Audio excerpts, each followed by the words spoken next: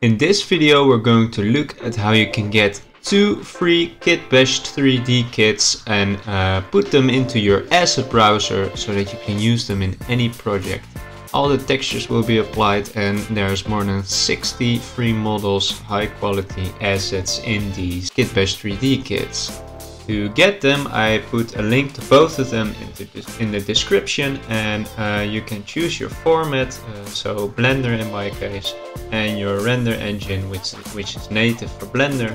Check out and then you have to fill in uh, a couple of things, uh, but I think it's uh, totally worth it for these awesome kits.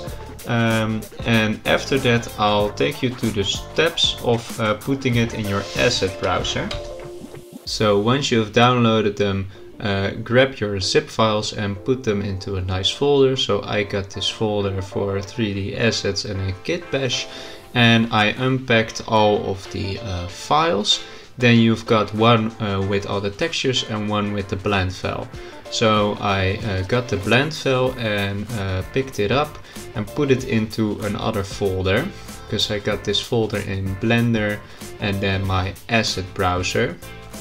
Blender knows that I put my assets in that folder.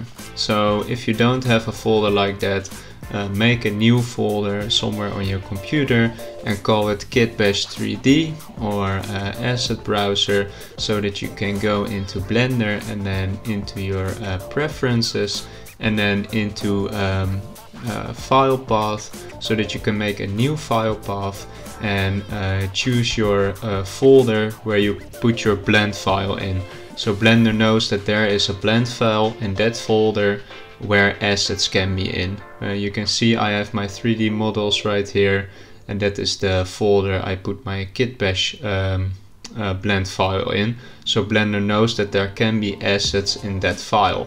Open the blend file you just um, put into that folder and go to and go to File, External Data, Find Missing Files, because all the textures will be missing. Find your file with all the textures and um, uh, click Find Missing Files. So now Blender knows, uh, has found all the textures and all of your textures will be applied. After that you can start setting them up in your asset browser. So open one up and change your viewport to something else because that will be less laggy. Put them correctly into your asset browser, right click and empty and uh, select the hierarchy. Put the whole hierarchy into a new um, um, collection and then unlink the empty object and then put the uh, collection as an asset in your asset browser.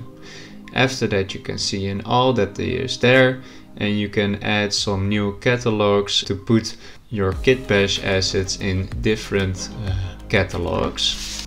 There's quite a bit of uh, empties in the space one, so you will have to go through quite a bit of empties and right click them, put uh, select the hierarchy M to a new collection and right click the empty, unlink it and then uh, mark the collection as an asset.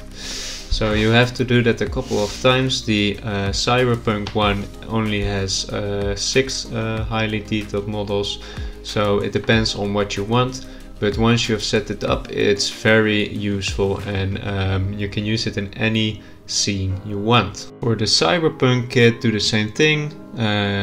Put it into a folder where Blender knows assets can be, uh, find the uh, missing files, and then start doing the same technique to put them into your uh, asset browser.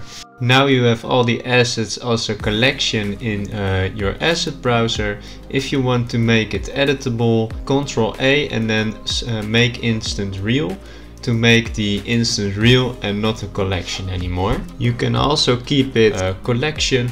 It will be less performance heavy for the computer, so that could be better. But if you want the loose parts, you can Ctrl A and make instance real to make the instance real.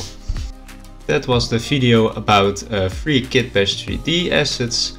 Now you can start making awesome cities and uh, space scenes If you thought the video was helpful, maybe consider liking and subscribing for more content like this.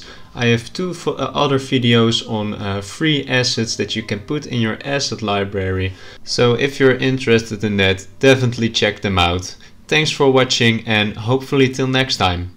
Bye!